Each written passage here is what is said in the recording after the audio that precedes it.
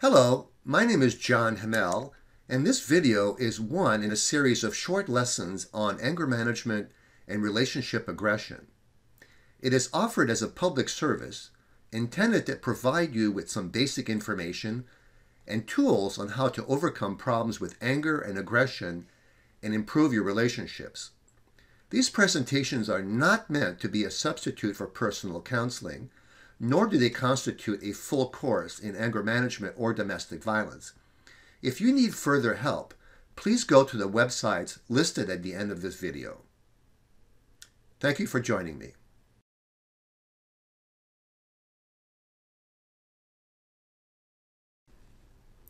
The great majority of relationship aggression, sometimes known as domestic violence or intimate partner abuse, involves high conflict interactions involving primarily verbal aggression. According to the most recent large scale national surveys on domestic violence conducted by the Centers for Disease Control and Prevention, each year approximately 7.5 million women and 7.3 million men are victims of physical assaults at the hands of their partner. Physical forms of relationship aggression occur in about 15 to 20 percent of relationships and typically consists of infrequent pushing, grabbing, and throwing things, resulting in no or minor physical injuries.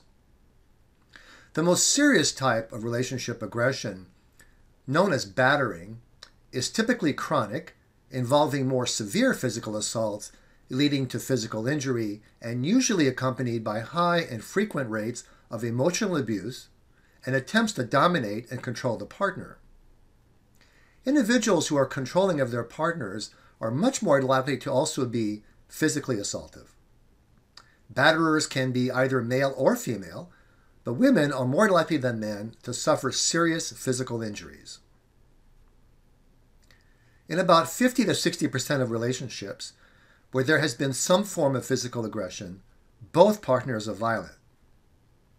Men and women assault one another and strike the first blow at approximately equal rates and are motivated for the same reasons. For example, to control, to express frustration, in self defense, or in retaliation for something their partner did.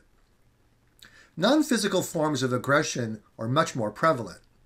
According to the 2012 literature review by Carney and Barner, 40% of women and 32% of men have perpetrated expressive abuse, that is, name calling, ridiculing, sometimes out of anger and in response to provocations, and sometimes intended to degrade and humiliate the partner. And 41% of women and 43% of men have perpetrated coercive abuse. For example, monitoring a partner's whereabouts, making threats, all intended to control the partner. Many more relationships are characterized by dirty fighting. Behaviors such as bringing up the past, not listening, and blaming that are not strictly abusive but undermine healthy communication and problem solving. The underlying motive when using these behaviors is to win the argument rather than arrive at a mutually agreed upon consensus. The effect of these behaviors is to make the other person feel too confused, guilty, overwhelmed or worn out to effectively make their case so that in your mind you won. Examples of dirty fighting include brown bagging, bombarding the other person with all the complaints you've been wanting to talk about all at once, overgeneralizing, making comments like, you're always late and I can never count on you, and cross complaining. For example, instead of taking responsibility for your actions, you complain about something your partner did.